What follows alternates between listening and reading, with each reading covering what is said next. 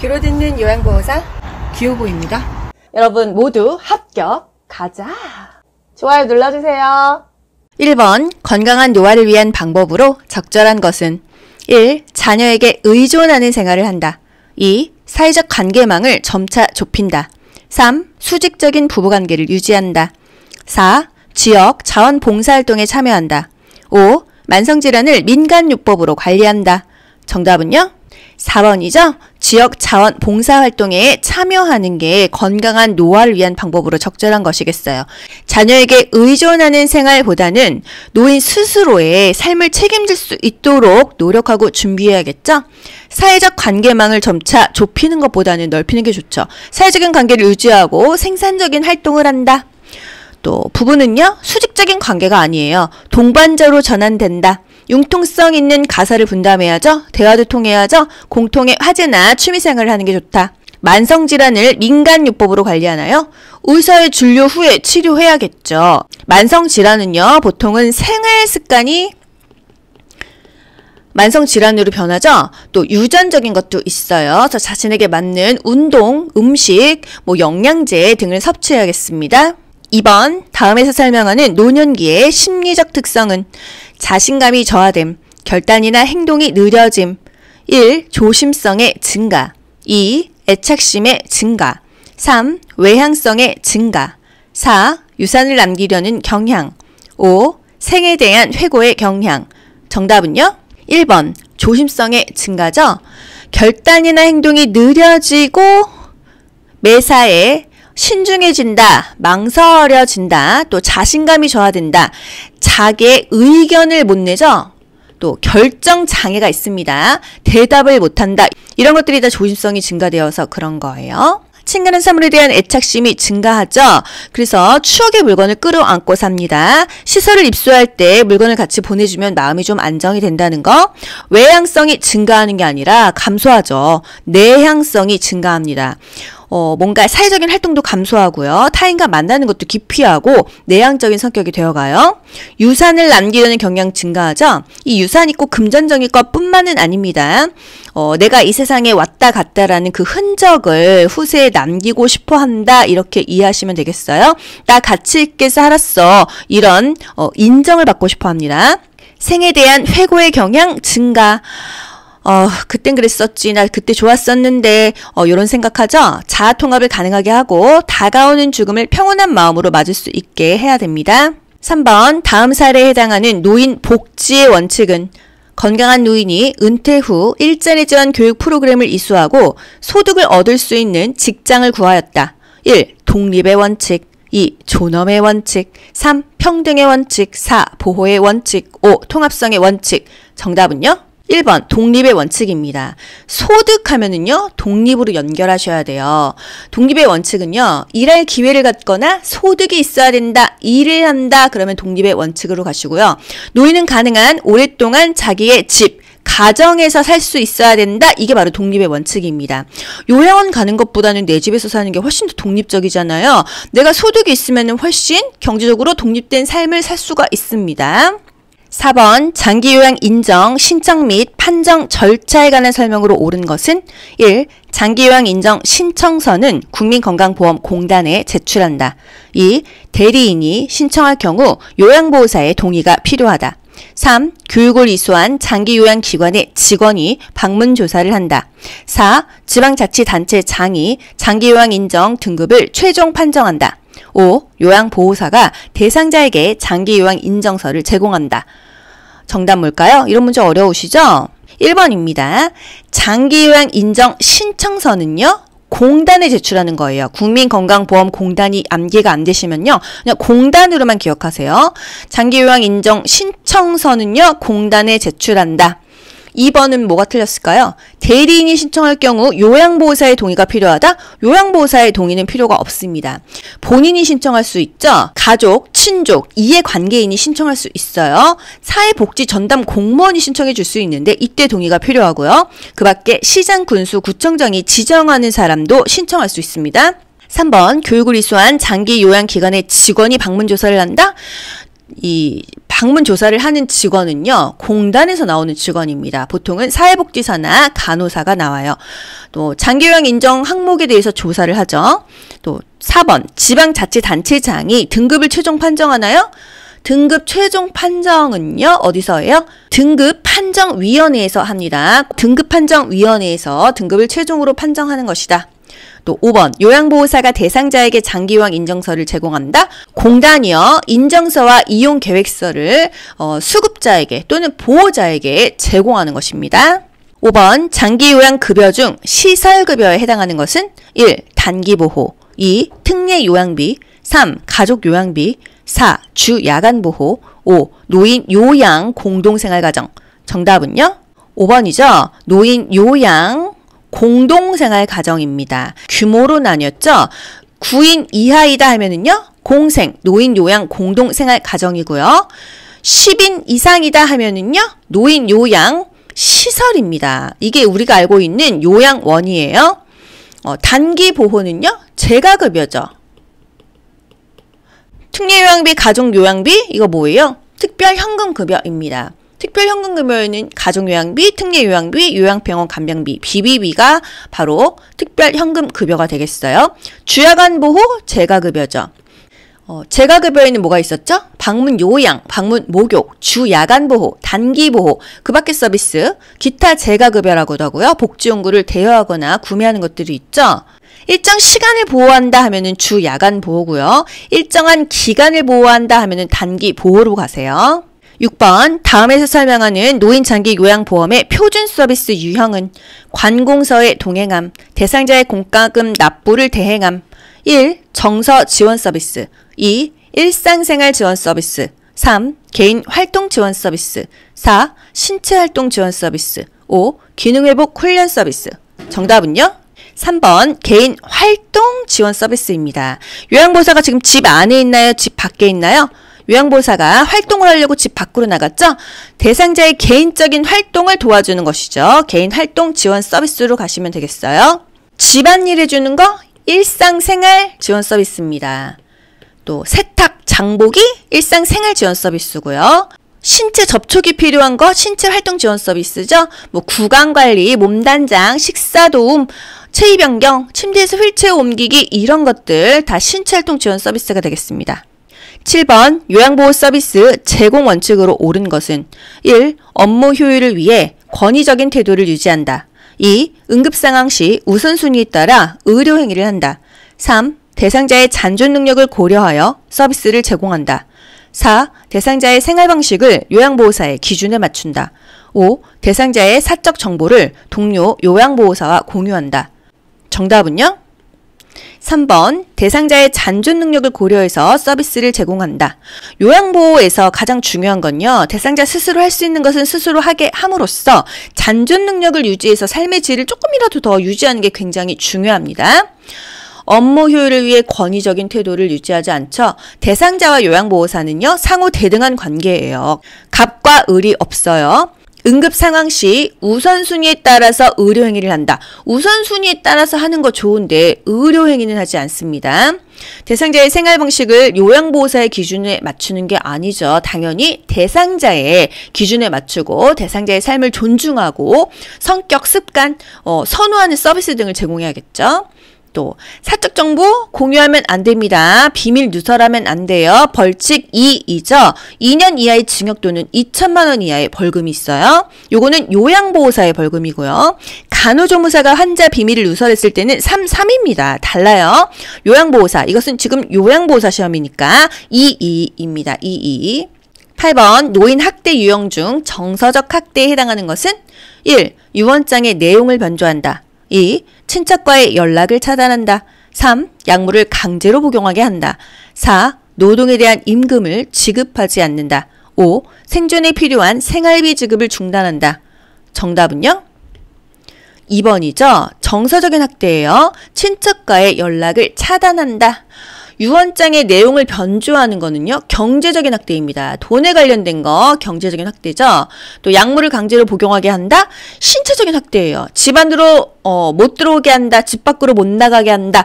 출입을 통제하거나, 생존 유지에 필요한 기본적인 장치를 단절하거나 뭐 가스 끊었어, 전기 끊었어 이런 거요. 또 혈압약, 당뇨약 이런 약 안 줬어 또는 강제로 먹였어 이런 것들이 다 신체적인 학대가 되겠어요. 9번 노인보호 전문기관의 역할로 옳은 것은 1. 노인 학대 행위자에 대한 수사를 실시한다. 2. 노인학대 피해 노인에게 장기 숙식을 제공한다. 3. 노인학대 피해 노인을 위한 성년 후견자를 지정한다. 4. 노인학대 판정을 위한 의학적 진단을 제공한다. 5. 노인학대 행위자에 대한 상담 및 재발 방지 교육을 한다. 정답은요? 5번이죠. 노인 학대 행위자에 대한 상담, 재발 방지 교육을 하고 있습니다. 노인 보호 전문 기관은요. 학대받는 노인을 법적으로 신고하는 기관이고요. 학대받는 노인을 대상으로 사례 관리를 어, 수행합니다. 노인 학대 행위자를 대상으로 재발 방지 교육하죠. 노인 자살 예방 교육까지 하고 있어요. 노인학대 행위자에 대한 수사를 실시한다? 수사는요, 경찰이나 수사기관에서 하고 있습니다. 또, 장기 숙식을 제공하지는 못해요. 이거는 노인 복지 시설에서 제공을 하고 있습니다. 노인학대 피해 노인을 위한 성년 후견자를 지정한다. 어, 뭐 이런 것들은 다 법률기관에서 하고 있고요. 노인학대 판정을 위한 의학적 진단을 제공한다. 이거는 의료기관에서 하고 있습니다. 10번 요양보호사의 임금 구성 항목과 취업 규칙을 명시하도록 규정해 놓은 법이 뭐냐? 1. 근로기준법 2. 국민건강보험법 3. 산업안전보건법 4. 사회보장기본법 5. 산업재해보상보험법 정답은요? 1번 근로 기준법입니다. 요양보호사가 지금 근로자잖아요. 어, 이 취업해 가지고요. 이 돈 받고 이런 법은요. 근로 기준법이에요. 요양보호사의 임금 구성 항목과 취업 규칙을 명시하도록 규정해 놓았다. 또 기준에 미치지 못하는 근로 계약은요. 무효죠. 11번 대상자가 요양보호사에게 성희롱을 할 때 대처 방법은 1. 반응하지 않고 계획된 업무를 수행한다. 2. 대상자의 행동에 대해 가족에게 항의한다. 3. 감정적으로 대응한 후 해당 장소를 떠난다. 4. 거부 의사를 표현하고 시설장에게 보고한다. 5. 요양보호 업무를 중단하고 다른 일을 알아본다. 정답은요? 4번 거부 의사를 표현하고 시설장에게 보고한다이죠. 거부 의사를 표현한다, 단호하게 말한다. 어, 이런 것들이 답이 되겠습니다. 요양보호사의 대처, 감정적인 대응은 삼가해야겠죠. 단호히 거부 의사를 표현합니다. 또 관리 책임자에게 보고를 해서 적절한 조치를 취하게 한다. 12번 요양보호사가 지켜야 할 직업 윤리로 옳은 것은 1. 보수교육 참여는 최대한 미룬다. 2. 동일한 종교를 가진 대상자를 선호한다. 3. 대상자의 개인정보에 대한 비밀을 보장한다. 4. 동료 요양보호사와 경쟁하는 자세를 갖는다. 5. 기관의 지침을 우선시하여 서비스를 제공한다. 정답은요? 3번 대상자의 개인정보에 대한 비밀을 보장한다. 보수교육 참여를 미루면 안 되죠? 효율적이고 안전하게 업무를 수행하기 위해서 지속적으로 지식과 기술을 습득한다. 인종, 연령, 뭐 성별, 종교 이런 것들을 이유로 대상자를 차별 대우하지 않는다. 동료 요양보호사와는요, 상호 협력적인 그런 관계를 유지해야겠어요. 기관의 지침을 우선시하는 게 아니라 대상자의 그 자기 결정을 최대한 존중해서 서비스를 제공합시다. 13번 요양보호사가 직업윤리 원칙을 준수한 사례는 1. 존칭을 생략하며 친밀감을 표현하였다. 2. 대상자로부터 서비스에 대해 물질적 보상을 받았다. 3. 대상자에게 자신의 힘든 상황을 하소연하였다. 4. 서비스 제공 내용은 월말에 모아서 종합적으로 기록하였다. 5. 방문 일정을 변경할 경우 사전에 연락하여 양해를 구하였다. 정답은요? 5번이죠. 항상 일정 변경하려면요. 사전에 양해를 구해야 합니다. 존칭을 생략하면 안 돼요. 대상자에게 유아어, 명령어, 반말 등을 사용하지 않는다. 물질적 보상 받으면 안 됩니다. 아, 죄송합니다. 아, 감사합니다. 마음만 받을게요. 대상자에게 자신의 상황을 하소연하지 마세요. 요양보호사를 종사하게 된 동기를 점검을 하시고요. 겸손한 태도를 유지하고요. 책임감을 가지고 업무 활동을 해야 합니다. 서비스 제공 내용은 모아가지고 종합적으로 기록하면 다 잊어버리죠.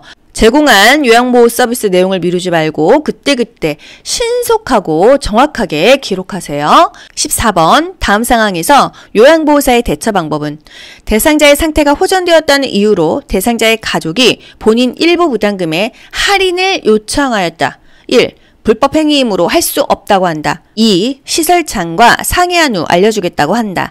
3. 할인해주고 그만큼 서비스 시간을 줄인다. 4. 할인 대신 가족을 위한 서비스를 제공해 준다고 한다. 5. 나중에 본인 일부 부담금의 일정액을 돌려준다고 한다. 정답은요? 1번입니다. 안 돼요. 이렇게 말하는 거예요. 불법 행위이므로 할 수 없다고 한다. 대상자의 모 배우자가 본인 부담금 할인을 요청했어. 위법이에요. 이렇게 설명하는 거죠. 15번. 재가침의 대상자의 증상이 악화되어 서서 대변을 보는 행동을 보일 때 대처 방법은 1. 식사량을 줄이겠다고 한다. 2. 서비스를 중단하겠다고 말한다. 3. 방으로 데려가 기저귀를 채운다. 4. 변화된 증상을 관찰하여 기록한다. 5. 재가 서비스 제공이 어렵다며 시설 입소를 유도한다. 정답은요? 4번입니다. 변화된 증상을 관찰하여 기록한다. 가장 적합한 답이 되겠습니다. 추가 서비스를 요청했어. 이럴 때는요, 기관장에게 보고하죠. 뭐가 문제가 생겼을 때도요, 관찰하거나 기록하거나 보고하면 되겠습니다. 16번. 수근간 증후군에 관한 설명으로 옳은 것은 1. 밤의 통증이 완화된다. 2. 손을 털면 저림과 통증이 완화될 수 있다. 3. 팔을 들어 올릴 때 어깨에 저린 감각이 있다. 4. 손바닥을 서로 맞대면 팔꿈치에 통증이 있다. 5. 새끼손가락에 통증이 있다. 정답은요? 2번이죠? 손을 털면요, 조금 덜 아파요. 저림과 통증이 완화될 수 있다. 이게 바로 수근간 증후군입니다. 수근간 증후군의 자가 진단법이 팔랭 검사입니다. 손목을 구부려서 양쪽 손등을 맞대고 밀면은요, 손가락과 손바닥이 저리는 거예요. 손, 어깨가 아니죠? 손가락과 손바닥이 저립니다. 새끼 손가락에 통증이 있는 게 아니고요. 엄지 손가락의 이 반대쪽 부위, 둘째, 셋째, 넷째 손가락하고 이 연결된 손바닥 피부의 감각이 둔해진다고 합니다. 17번 감염 예방을 위한 요양보호사의 자가관리 방법으로 옳은 것은 1. 예방적으로 항생제를 복용한다. 2. 감염 증상이 있으면 예방접종을 받는다. 3. 임신한 경우 풍진 대상자와 접촉하지 않는다. 4. 머리니 감염 대상자와 수건을 공동으로 사용한다. 5. 분비물이 묻은 손은 휴지로 닦는다. 정답은요? 3번 임신한 경우는요 풍진 대상자와 접촉하지 않습니다. 왜? 이 요양보호사가 임신했어요. 풍진이나 수도 대상자와 접촉을 하면은요 이 임신한 뱃속의 아기가 기형아로 태어날 확률이 있다 이거죠. 항생제는요, 예방적으로 복용할 수가 없어요. 또, 감염 증상이 있으면 예방 접종을 받는다? 증상이 없어야 예방 접종을 맞을 수가 있습니다. 머리니 감염 대상자와 수건을 공동으로 사용하면은요, 안 돼요. 뭐, 모자, 빗, 수건 같이 쓰지 않는다. 어, 분비물이 묻었다 하면은요, 비누와 물로 씻어야 됩니다. 비누와 물로 씻어야 돼요. 18번, 노인성 질병의 특성으로 옳은 것은 1. 재발이 드물다. 2. 약성분이 체외로 빨리 배출되어 치료가 어렵다. 3. 질병 발생의 원인이 명확하다. 4. 한 가지 질병이 단독으로 발생한다. 5. 정상적인 노화 과정과 구분하기 어렵다. 정답은요? 5번입니다. 이게 늙어서 그런 건지 아파서 그런 건지 정상적인 노화 과정하고 구분하기가 어려워요. 노인성 질병의 특성, 재발이 빈번하다. 또 약성분이 체외로 빨리 배출되는 게 아니고요. 신장의 소변 농축 능력과 배설 능력이 저하되기 때문에 약성분이 신체 내에 오래 남아서 중독 상태에 빠지기가 쉽습니다. 질병 발생의 원인이 명확하지가 않죠. 이게 늙어서 그런 건지 아픈 건지 원인이 불명확한 만성 퇴행성 질환이 대부분이다. 한 가지 질병이 단독으로 발생하기보다는 어, 하나의 질병에 걸리면 다른 질병이 어, 도미노로 동반하기가 쉽습니다. 정상적인 노화 과정인지 질병인지 구분하기가 굉장히 어렵다는 거. 19번 위험으로 명치 부위의 통증과 구토 증상이 있을 때 도움이 되는 방법은 1. 하복부를 마사지한다. 2. 차가운 음료를 마신다. 3. 처방받은 제산제 복용을 중단한다. 4. 양손으로 상복부를 밀어 올린다. 5. 하루 정도 금식하여 위의 부담을 덜어준다. 정답은요? 5번입니다. 위 염일 때는요, 하루 정도 금식하여 위의 부담을 덜어준다. 하복부 마사지하지 않습니다. 과음 과식 피해야겠죠? 너무 차가운 음료 안 좋아요. 너무 뜨겁거나 찬 음식은 섭취하지 않는다. 음, 약을 처방받았다고 한다면은요, 처방받은 이런 약물을 사용해서 치료를 하기도 하죠. 20번 인플루엔자 대상자를 돕는 방법으로 옳은 것은 1. 야외 활동을 권장한다. 2. 외출할 때는 마스크를 쓰게 한다. 3. 치료제로 항생제를 복용하게 한다. 4. 운동 전에 기관지 확장제를 사용하게 한다. 5. 정기적으로 흉부 방사선 검사를 받게 한다. 정답은요? 2번이죠? 인플루엔자 독감이에요. 외출할 때는 마스크를 쓰게 한다. 그래야 다른 사람에게 옮기지 않으니까요. 인플루엔자 독감은요, 65세 이상 매년 무료 접종합니다. 1년에 한 번 예방 접종한다. 1년에 한 번 예방 접종하는 거 인플루엔자. 요거 국가고시에 잘 나오죠? 인플루엔자 바이러스예요. 바이러스는요, 어, 항바이러스제를 복용을 합니다. 운동 전에 기관지 확장제 사용하는 거 천식 환자죠? 기관지를 넓혀주고 운동한다는 거. 정기적으로 흉부 방사선 검사, 엑스레이 검사, 이건 결핵 환자는 1년에 한 번씩 어, 엑스레이 검사를 하기도 합니다. 21번 노화에 따른 심혈관계 변화로 옳은 것은 1. 심근의 두께 감소 2. 심근의 탄력성 감소 3. 심박동수 증가 4. 최대 심박출량 증가 5. 말초로부터 심장으로의 혈액순환 증가 정답은요? 2번 심근의 탄력성 감소입니다. 심근의 두께는 증가해요. 두께가 증가하니까 탄력성이 떨어지는 거고요. 최대 심박출량이 떨어지니까 심박동수도 떨어지는 것입니다. 아시겠죠? 혈액순환은 감소합니다. 또 정맥이 약화돼요. 그래서 하지부종과 정맥류, 항문에 치질이 생겨요. 22번 대상자의 비타민 D 생성에 도움이 되는 방법은 1. 금연한다. 2. 햇볕을 쬐인다. 3. 칼슘을 섭취한다. 4. 염분 섭취를 줄인다. 5. 체중 부하 운동을 한다. 정답은요? 2번. 햇볕을 쬐이면 비타민 D가 자연적으로 생성된다. 이런 거 여러분 들어본 적 있으시죠? 골다공증에 좋은 운동은요, 걷기가 좋다까지 연결하세요. 퇴행성 관절염에 좋은 운동은 수영입니다. 23번, 절박성 요실금 있는 대상자를 돕는 방법으로 옳은 것은 1. 낮에는 기저귀를 채워준다. 2. 골반 근육 강화 운동을 하게 한다. 3. 웃음요법 프로그램에 참여하게 한다. 4. 식이섬유가 적은 음식을 제공한다. 5. 따뜻한 커피를 자주 마시게 한다. 정답은요? 2번이죠. 요실금 하면은요, 케겔 운동 또는 골반 근육 강화 운동을 한다. 이렇게 연결하시고요. 웃음 6번 프로그램에 참여하면요, 웃거나 재채기 할 때 더 찔끔찔끔 요실금이 나와요. 섬유질은요, 많은 거 좋고요. 뭐, 수분은 제한하지 않습니다. 커피는 이뇨작용이 있기 때문에, 어, 더 나빠요. 24번 대상포진에 관한 설명으로 옳은 것은 1. 세균에 의해 감염되는 질환이다. 2. 장기간 스테로이드를 복용해야 한다. 3. 치료 후 신경통이 사라질 때까지 격리한다. 4. 가려움증이 있는 부위에 온찜질을 적용한다. 5. 과거에 수두를 앓았던 사람에게서 주로 발생한다. 정답은요? 5번입니다. 대상포진 바이러스죠. 과거에 수두를 앓았던 사람에게서 주로 발생하고요. 대상포진은 면역력이 떨어졌을 때 어, 많이 발병을 합니다. 타는 듯한 통증, 자결감, 어, 자결감 하면은 대상포진하고 연결을 해주세요. 대상포진 바이러스예요. 그래서 항바이러스제를 먹습니다. 25번 손해가 손상되어 뇌졸 중이 발생했을 때 나타나는 특징적인 증상은 1. 기억력이 저하된다. 2. 감정을 잘 조절하지 못한다. 3. 몸의 균형을 유지하지 못한다. 4. 말의 내용을 이해하지 못한다. 5. 시야의 한쪽 귀퉁이가 어둡게 보인다. 정답은요? 3번입니다. 손해가 손상되면은요, 몸의 균형을 유지하지가 못해요. 그래서 운동 실조증이라고 하죠? 술 취한 사람처럼 비틀비틀 걷게 돼요. 이게 바로 균형 감각이 떨어졌다. 손해가 손상됐다. 이겁니다. 감정을 잘 조절하지 못하는 것은 대뇌랑 관련이 있고요. 26번 안압 상승으로 시야가 좁아지며 안구 통증과 시력 상실이 나타날 수 있는 질병은 사실 보기 보기 전에 딱 나오죠. 안압이 상승했다, 통증이 있다, 뭐죠? 녹내장입니다. 이렇게 답을 빨리 찾으실 수 있어야 돼요, 여러분. 보기 다 보지 않아도요. 녹내장, 안압이 상승했어, 통증이 있어, 그럼 녹내장이죠. 녹각, 각막이 뿌예, 녹내장이에요. 그런데 수정체가 뿌예, 그러면 백내장 가는 거예요. 아시죠?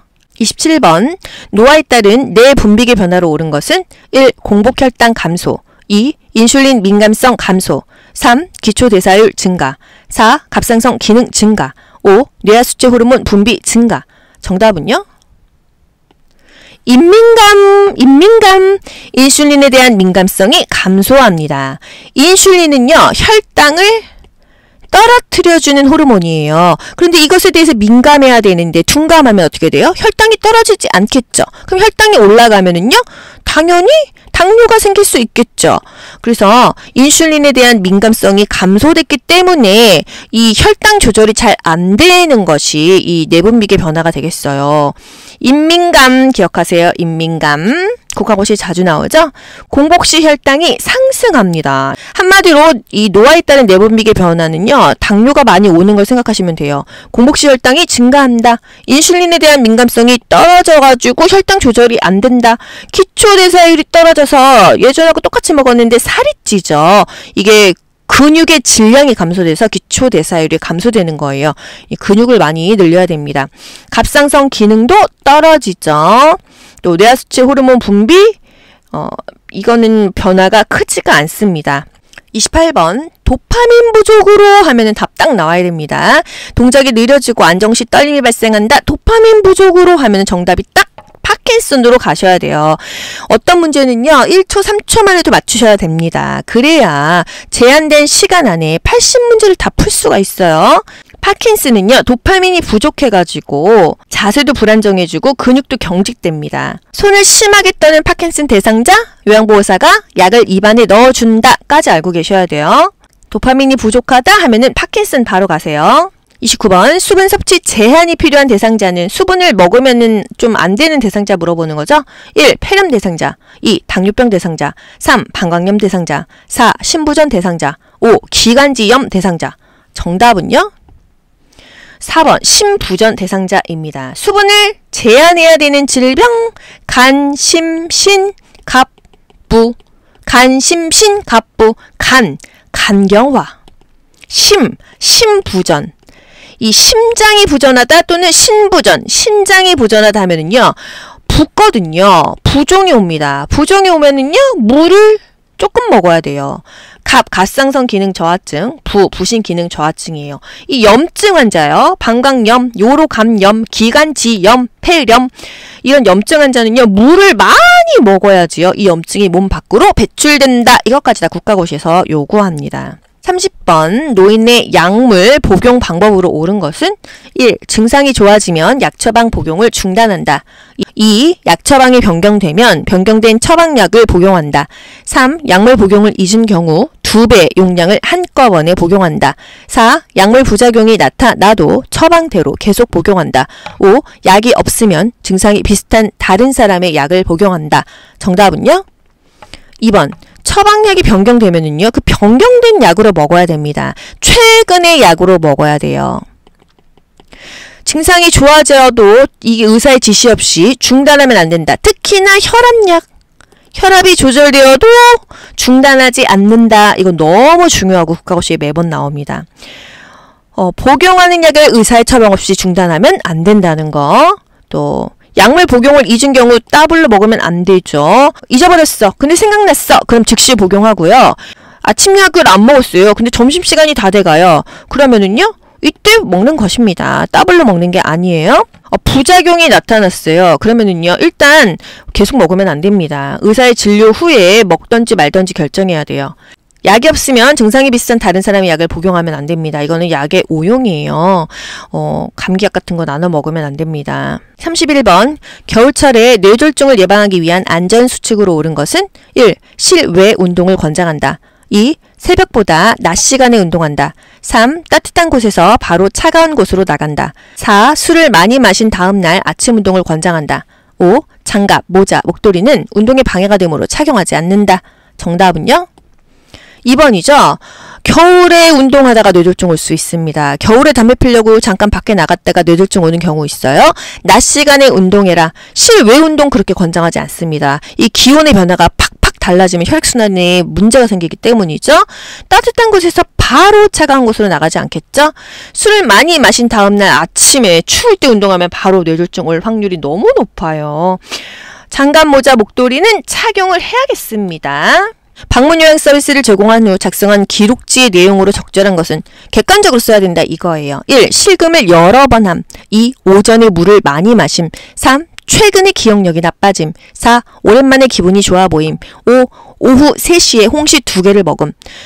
여러 번이 뭐 두세 번인지 열 번인지 모르겠죠? 많이 마셨다는 기준이 뭐 한 잔인지 열 잔인지 모르잖아요. 최근이 한 달 전인지 일주일 전인지 오랜만에 이게 뭐 오랜만이 언제인지 모르기 때문에 주관적인 거 안 된다. 객관적인 사실을 정확하게 기록하라 이거죠. 육하 원칙에 의해서 정확하게 기록해야 되고요. 공식화된 용어를 써야 됩니다. 그때그때 신속하게 기록하죠. 애매한 표현은 삼가한다. 33번 재가 방문 후 요양보호사가 시설장에게 신속하게 보고를 해야 하는 경우는 1. 이불 빨랫감이 세탁실에 있다. 2. 유통기한이 임박한 유제품이 냉장고에 있다. 3. 거실 형광등이 깜빡거린다. 4. 대상자의 방문에 자물쇠가 설치되어 있다. 5. 대상자의 자녀가 오랜만에 방문하였다. 정답은요? 4번. 자물쇠가 설치돼 있대요. 뭔가 학대받고 있지 않겠습니까? 이럴 때 문제가 있을 때 보고를 하는 거예요. 음, 빨랫감이 있으면 요양보사가 빨래 해주면 되겠죠? 임박한 유제품이 있으면은요, 뭐 빨리 먹거나 동의하에 버리면 되죠. 거실 형광등이 깜빡거리면 교체를 하면 됩니다. 대상자의 자녀가 오랜만에 방문한 거 뭐 상관없어요. 34번. 임종이 임박한 대상자의 신체적인 변화로 옳은 것은 1. 혈압이 상승한다. 2. 피부가 붉어진다. 3. 동공이 축소된다. 4. 소변량이 증가한다. 5. 수면 시간이 길어진다. 정답은요? 5번입니다. 어, 죽기 직전에는요, 이 수면 시간이 굉장히 길어요. 막 팔팔하게 있다가 가시는 게 아니거든요. 혈압은요, 떨어집니다. 맥박 도요, 떨어지죠. 피부가 붉어지면 혈액순환이 잘 되는 거예요. 피부가 점점 파랗게 변합니다. 혈색이 없어요. 동공이 축소되는 게 아니라 뭐 고정되어 있거나 이 산대되어 있다, 확대되어 있다 이거예요. 소변량은 증가하지 않아요. 먹은 게 없기 때문에 소변량도 감소합니다. 이것을 핍류라고 하죠. 수면의 시간은 길어지는 건 맞아요. 감소하는 것은요. 맥박 감소, 혈압 감소, 소변량이 감소합니다. 동공은 확대되고요. 수면 시간이 길어진다는 거. 피부색은 파랗게 변하고요. 근육의 긴장도는 감소한다. 근육이 느슨해진다. 35번 임종 직후에 대상자를 돕는 방법으로 옳은 것은 1. 의치를 빼서 보관함에 넣어둔다. 2. 삽입된 유치 도뇨관을 제거해준다. 3. 분비물이 배출되도록 옆으로 눕혀준다. 4. 깨끗한 시트로 대상자의 얼굴을 덮어준다. 5. 눈이 감기지 않으면 젖은 거즈를 눈 위에 올려준다. 정답은요? 5번이죠. 눈이 감기지 않았다고 하면은요. 젖은 거즈나 젖은 솜을 눈 위에 올려줍니다. 의치를 뺄지 말지는요. 대상자 가족에게 확인하는 거고요.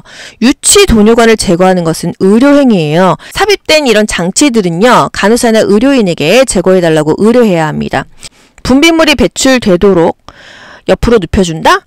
분비물이 배출되면은 닦아주고요. 엉덩이 밑에 임종 직후는요. 패드를 어, 깔아줍니다. 살아 있을 때는 기저귀, 이제 죽고 나면은 패드를 깔아줘요. 깨끗한 시트로 대상자의 얼굴을 덮어주나요? 얼굴은 덮지 않죠. 어깨까지만, 어깨까지만 덮습니다. 어, 여기서 추가할 거 베개를 이용해서 머리와 어깨를 올려줍니다. 왜?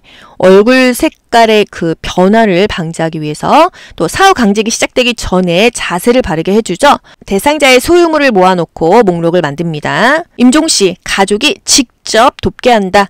또 가족들이 대상자를 만날 수 있는 시간을 준다. 이런 것들이 다 답이 되겠어요. 여러분 수고 많이 하셨어요. 반복해서 내 걸로 만드세요. 귀로 듣고 고득점 합격하는 비결이 귀요보에 있습니다.